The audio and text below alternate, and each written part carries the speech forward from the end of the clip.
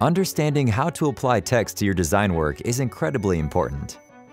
It's the difference between design that communicates well and design that, well, doesn't communicate.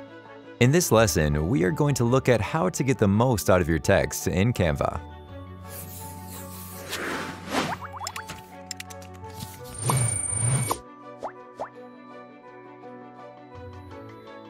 Starting from the home screen, let's create a new design.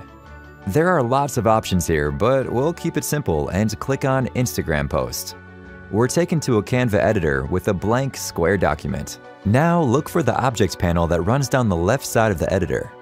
Click on the T button for text. At any point, you can also hit T on your keyboard to create a new text box. Click Add a heading. This creates a line of large text on the page. You'll see that it is already selected, ready for you to edit. Type in a heading. While that text box is still selected, you'll see a toolbar across the top of your editor. Canva's fonts are located in a drop-down menu here. Click to view and scroll through a long list of what's available. Many typefaces have multiple styles and weights.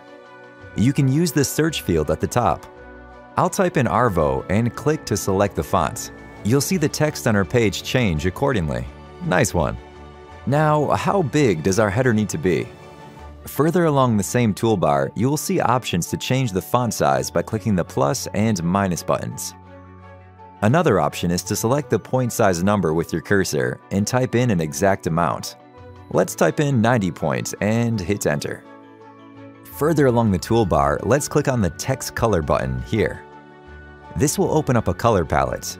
You can click the add a new color button here and use the add a new color tool or type in a hex code. What if you only want to edit one word? Simply use your cursor to click and highlight a single word. Let's make it bold. There are also italic and underline options to further style your text.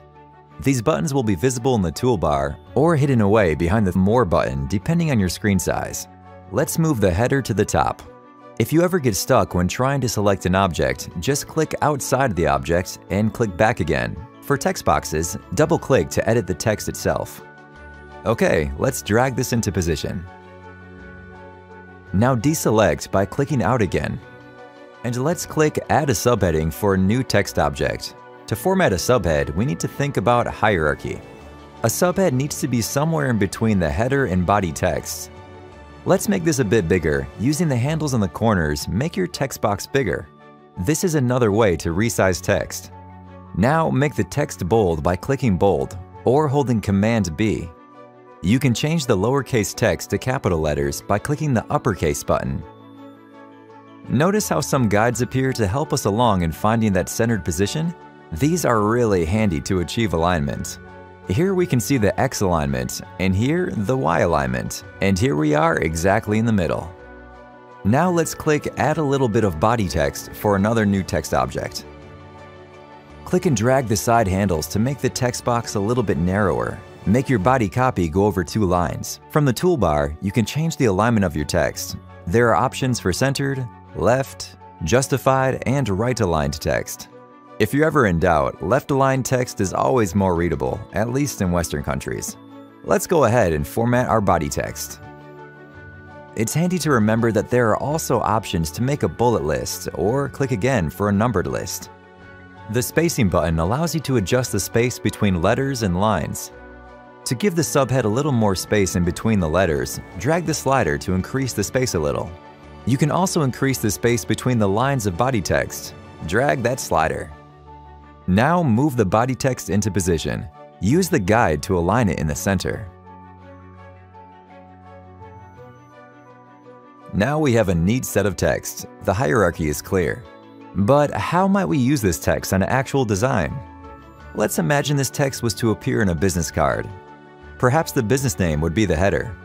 The individual's name is important, so it is formatted like the subheading. And the contact details can be body text with some styling to help organize the information. Or if this was going to be the text for a flyer, what would we do? What information can't be missed? Well, the header might be the eye-catching announcement, large, short, and bold. Our subhead might move to the bottom of the page and become a call to action, something that is visually important and a clear instruction. Product details and descriptions can be smaller as body text. The final thing to mention is font combinations. You may have noticed this when you opened the object panel. If you scroll through this, you'll see a number of font examples using attention-grabbing effects or styles.